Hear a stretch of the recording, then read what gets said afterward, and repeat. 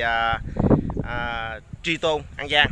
Đó, ở sau lưng của mình đây là một địa điểm đó là à, khu thể thao du lịch Tà Bạ à, Sò Chét đây là một địa điểm à, khá là đẹp ở à, Tri Tôn, An Giang. Thì các bạn thấy ở phía sau lưng mình toàn là đồi núi à, rất là đẹp. Đây thì à, ở đây à, có một cái ngọn núi cỡ cao đó là đồi Tấp Dục. À, rồi có nhiều ngọn núi khác nữa. Rồi bây giờ à, mình sẽ dẫn các bạn và anh chị cùng theo chân mình về hướng đó để à, chúng ta tham quan à, cánh đồng à, Tà Bạ như thế nào nha. Rồi bây giờ mời các bạn cùng theo chân mình.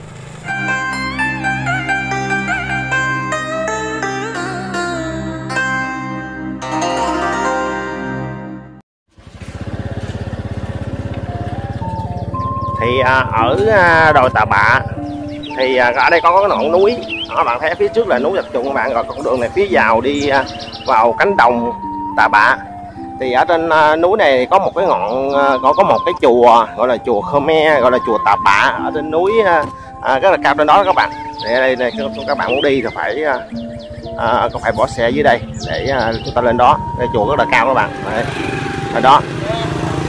Rồi bây giờ chúng ta cùng đi tham quan ở cánh đồng Tà Bạ này một vẻ đẹp như thế nào nha. À, cũng ở đây là buổi vào buổi trưa à, thì à, cũng khá là nắng các bạn chị à.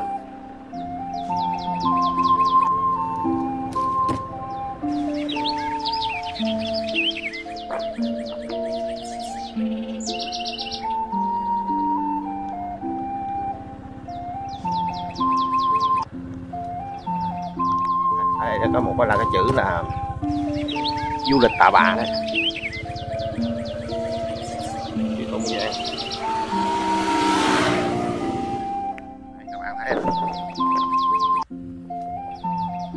Wow, ở đây trên đỉnh núi nhìn xuống rất là tuyệt vời. Các bạn chị để mình à, mình quay cho các bạn xem Đây.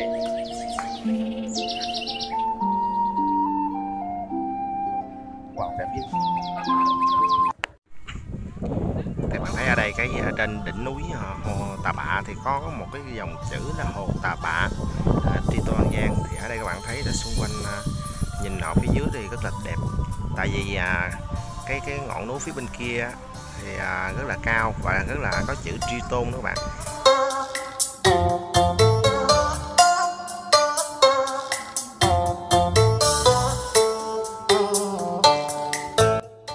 Và đây là các khung cảnh ở hồ Tà Bạ. À, hồ Tà Bạ này à, cũng khá là nổi tiếng. À, tại vì ở đây là có cái à, đây là cái hồ Tà Bạ các bạn màu xanh à, à, nước có màu màu xanh màu xanh lét luôn thì khung cảnh ở đây là có cũng à, à, nếu mà có mùa mùa mưa thì à, nó sẽ đẹp hơn. Và ở đây thường thường là có nhiều rất là nhiều du khách khi đến Tri Tôn An Giang. À, sẽ đi đến à, hồ Tà Bạ này để à, chụp ảnh ha, để đến cái biết cái này. Bạn thấy ở đây là cái trên đỉnh núi mà có một cái hồ. Cái hồ này à, nước rất là xanh đó các bạn. Đây cái này là cái này là nước mưa nước mưa là mức thiên nhiên nhưng mà ở đây các bạn biết cái hồ này nó rất là nguy hiểm. Thì à, cái hồ này cũng à, tuy rất là đẹp nhưng mà người ta cảnh báo à, về cái độ nguy hiểm của cái hồ tà bạ này. Hồ tà bạ này là đá đó, à, đá rồi có nhiều lồi lõm rồi à, rất là sâu. À, cũng có nhiều à, xảy ra những cũng rất là nhiều cái vụ à, à, chết người ở đây. À, bạn thấy ở đây thì chụp ảnh rất là tuyệt vời các bạn. Đấy bạn thấy ra cảnh này rất là hoang sơ, nhưng mà khá là nổi tiếng ở ờ, Tri Tô An Giang các bạn. Thì hôm nay mình đi đến đây để ờ, review và để chia sẻ cho các bạn về à, về hồ Tà Bà này nha.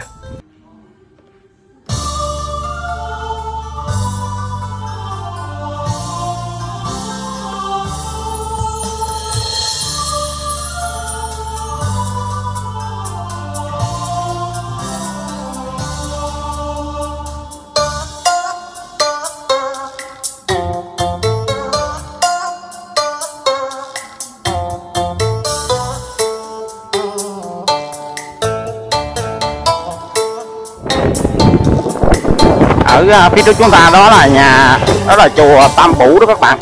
Bây giờ chùa Tam Bủ thì đó là cũng là nơi à, cất giữ những cái bộ hài cốt của những cái người mà bị à, bọn thực dân bọn Pol Pot sát hại và cách đây khoảng ba mươi mấy năm đó các bạn.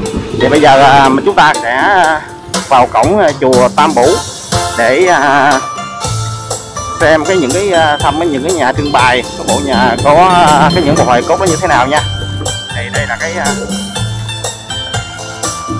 bên kia thì đó là chùa chùa Phi Lai. À, rồi bên đây là cái à, những cái nhà của nhà văn phòng trung ương hay họp Phật hậu của hội à, tân. Rồi chùa bên kia các bạn một trăm ta qua chùa Phi Lai nha. Thì đây là nhà trưng bày đây.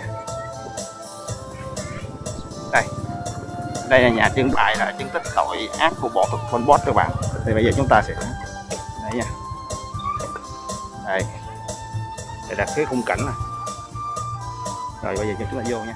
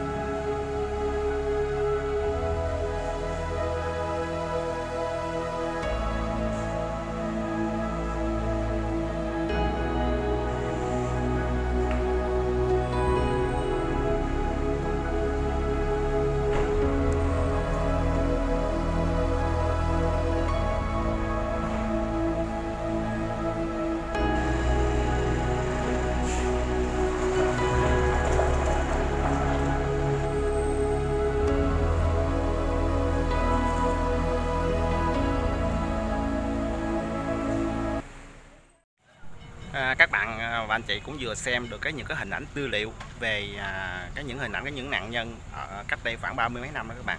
Thì đó là cái những cái tội ác của à, bọn Pol Pot thì à, các bạn biết á, thì à, hiện nay á, là tổng số của những cái người những cái người mà gọi là bị thiệt mạng trong cái à, cuộc à, do bọn Pol Pot gây ra là ba ngàn à, một trăm à, năm mươi bảy người là bị bọn quá sát hại.